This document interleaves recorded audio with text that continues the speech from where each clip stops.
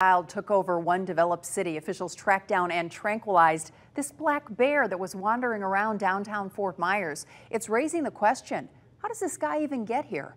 Wink News reporter Annalise Iraola joins us live in downtown and they captured this bear, tranquilized it. Where did they take it, Annalise?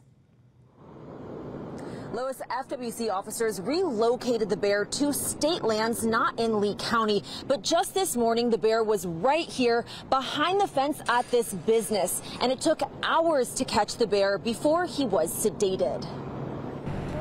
Right off Victoria Ave and Broadway in downtown Fort Myers, someone spotted this guy, a Florida black bear, at a business he didn't belong in. So I'm watching the news.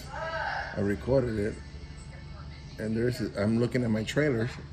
and so after right after that I said, you know, let's go. Mickey Rosado, owner of Appliances to Go USA, started his day like usual, but what he didn't expect was to see his own business on Wink News. So I said, okay, stay calm and um, I said, let me drive there.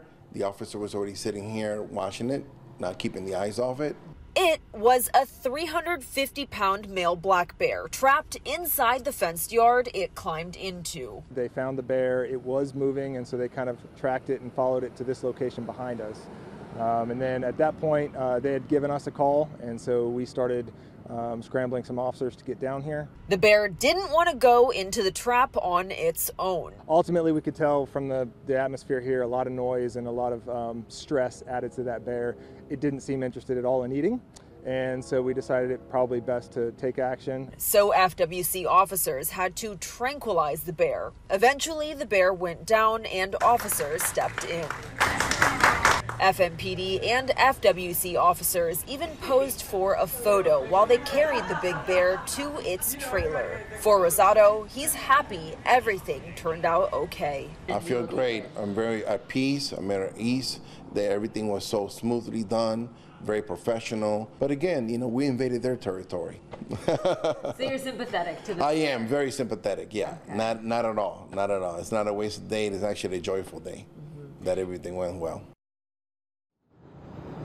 Rosado had to close his store for a few hours this morning, but as of this afternoon, it's back open for business as usual. He said he's actually thankful the bear chose his business to stop at because these tall fences kept the bear contained versus roaming loose on the streets of Fort Myers. Live in downtown Fort Myers, Annalise Iraola, Wink News.